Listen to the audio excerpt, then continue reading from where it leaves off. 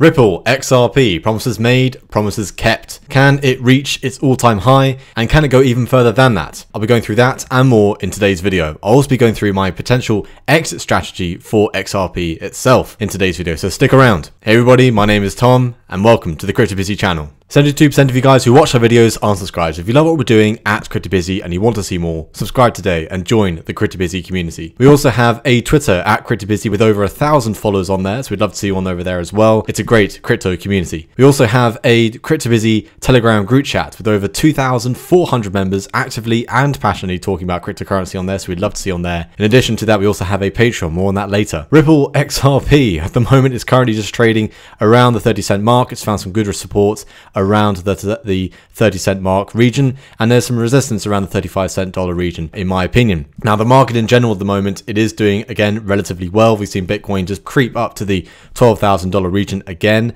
um, over the weekend, and this is all good stuff. So, in my opinion, I do think we are in a new cycle here. We're getting out of the crypto winter that we've just had over the past 18 months or so, and um, yeah, it's it's good to see that, uh, in my opinion. Over those 18 months, there's been a lot of consolidation.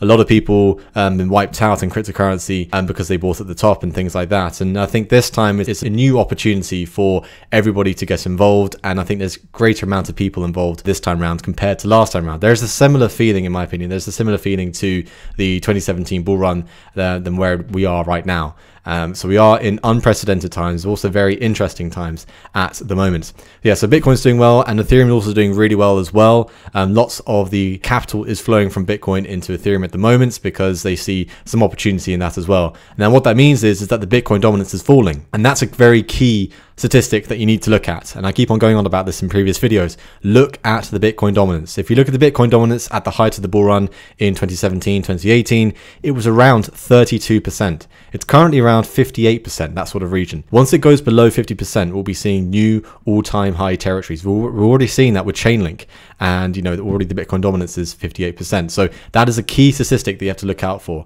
in the market at the moment. So again, XRP finding that good support around the 30 cent region, and that's all good stuff here. I'm using Lunar Crush; it's a great website to use, and um, you know they automatically update the prices, uh, which is great to see as well. So what's the recent news for XRP? Well, Ripple optimistic for greater on-demand liquidity and XRP adoption in the Philippines. Now, a lot of promises have been made over the years with Ripple, with Brad Garlinghouse, with a lot of people at the top at Ripple. In my opinion, I do think they are going to be kept. It's just a, a marathon. You know, we're not just in a 100 meter sprint here. This does take time. And again, you have to keep on looking back to the XRP release curve.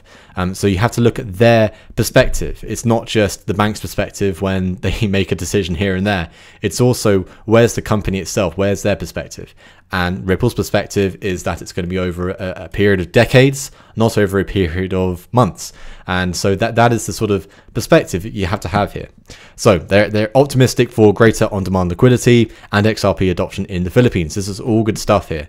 And again, as I said in previous videos, eh, you know, XRP, Ripple themselves, they are trying to find themselves in all areas across the world, in South America, in parts of Africa, and parts of Southeast Asia. And you're seeing this right here. So it's good to see that there as well, because a lot of people in the world are unbanked, and it's a major issue, especially right now. Um, we are about to enter the fourth industrial revolution, and that is going to have a key impact on uh, these areas across the world. And the fact that Ripple is uh, making sure that they're implementing their technology in these areas, it's great to see. Do let me know what you think down in the comments below about what I'm talking about today. I'd love to hear what you guys have to say. Now, we're responding to some of your comments below as well. Again, further good stuff about the Southeast Asia region, about in Asia as well. Ripple confirms on-demand plans for on-demand liquidity plans for India and demands regulatory clarity. Again, with the regulation in the world, I do talk about better regulation, not more regulation, but better regulation, because what comes with better regulation is more trust and with more trust becomes more adoption.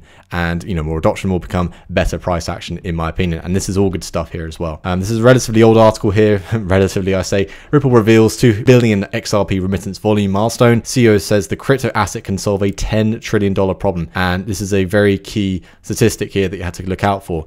Um, and this is something that in my opinion i think it does have the ability to do so. There's lots of banks out there that do have uh, a lot of money tied up. But if they transfer it from one place to the other there's a lot of fees taxes involved and uh, it would take too long as well. So Ripple, XRP, they aim to solve this big issue here. It's a big worldwide issue. And to unlock that money and to actually use it would be great. And you'll be seeing a lot of positive stuff come out of that. Now, if you like what I'm saying in this video and you want to see more and you want to have that competitive edge in the crypto market, join our CryptoBusy VIP coin calls. It's $30 a month. You get access to our VIP group where we provide multiple trading setups and potential coin breakouts each month and every week. And on top of that, bi-weekly, we do have a webinar. And the next one is actually going to be today, just before this video is coming out. It's a great opportunity to interact with our traders, talk about the market, break it down, and go through the coin calls that we've called for the week and also for the month. It's a great opportunity for yourselves to ask us any questions in the crypto market. Um, we'll answer them as well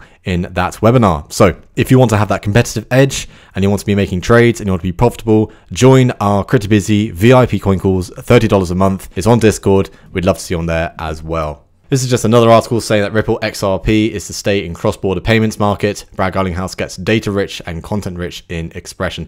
And he's just talking about in his recent tweets, uh, talking about how XRP does still have the ability to do these things. Now, this is from the Financial Times. This is a very interesting chart here. Ripple's cryptocurrency sales stall. And this, you have to look in between the lines here because it's the value of XRP sold each quarter in millions of dollars. And this, so uh, what you're seeing on the side here on this y-axis is the uh, the sales in millions of dollars and you'll see on the on the x-axis here is over time. So this is Q2 2017. You can see the bull run, how that affected the price sales, and then there was a, a crash afterwards. So you can see how that does affect the sales. And then there's a sort of a mini bull run. Uh, interestingly and paradoxically, more sales were done in 2019 than they were done in 2017.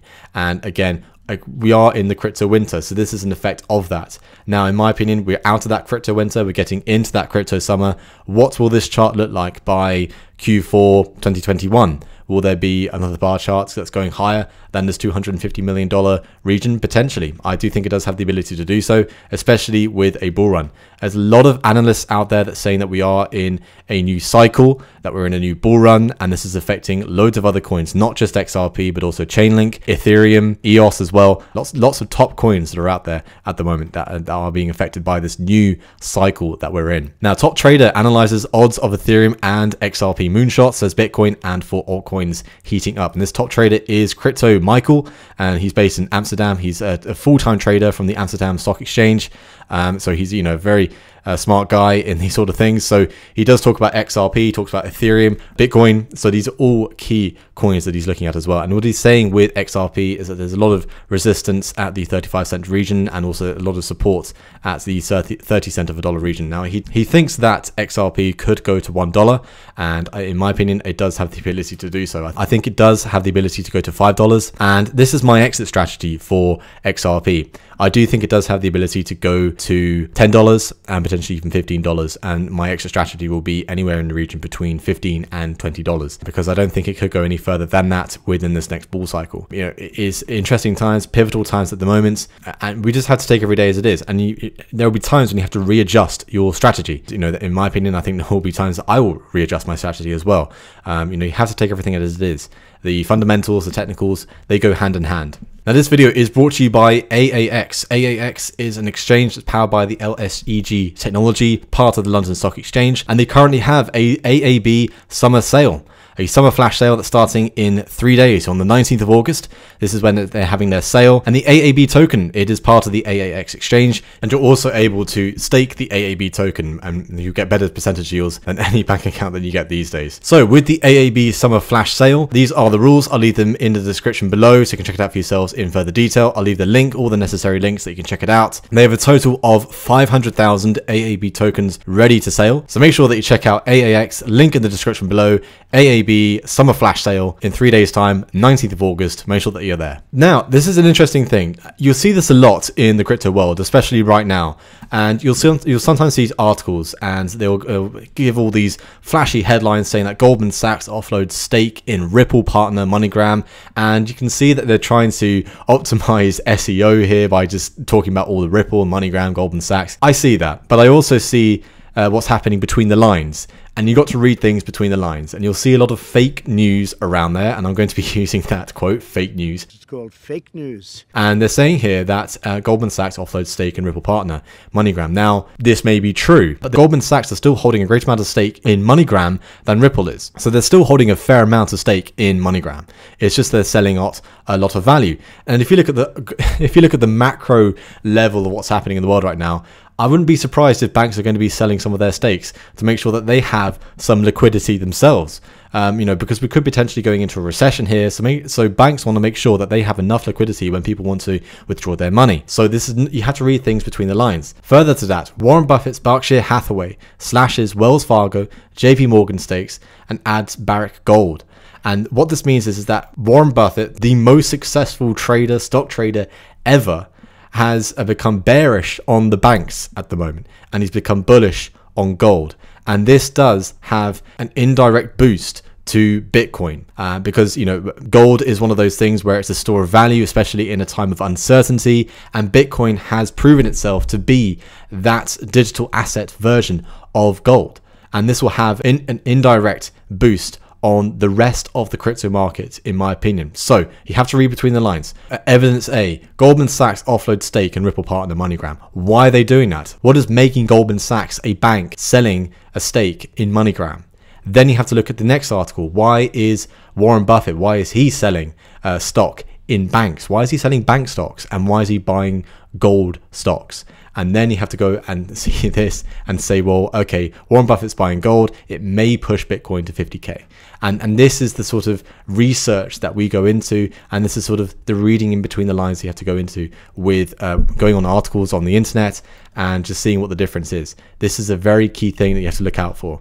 And, um, you know, you will see people here that try to spread FUD, especially right now, um, because they want to make sure that they get in at a good time and they don't want to miss out on a good price but that is what it is. Hopefully, I've, I've covered everything I wanted to cover today. Make sure that you comment down below your thoughts and opinions on what I've said today. I'd love to hear what you guys have to say, and I'll be responding to some of your comments below as well. Don't forget to subscribe to the CryptoBusy channel. We've got a lot planned in the upcoming weeks and also months, so stay tuned and subscribe to the CryptoBusy channel. We also have our Twitter at CryptoBusy with over a thousand followers on there, so we'd love to see on there as well. A great crypto community, and also we do have our CryptoBusy Telegram group chats with over 2,400 members actively and passionately talking about cryptocurrency. So we'd love to see you on there as well. And again, we also have our Patreon. If you want to have the competitive edge in the crypto market, join our VIP group. $30 a month, you provide multiple trading setups and potential coin breakouts each month and every week. Every other week, we do have a webinar, so we'd love to see you on there as well. And join the CryptoBusy VIP coin calls. You'll be joining a group of just under 200 people,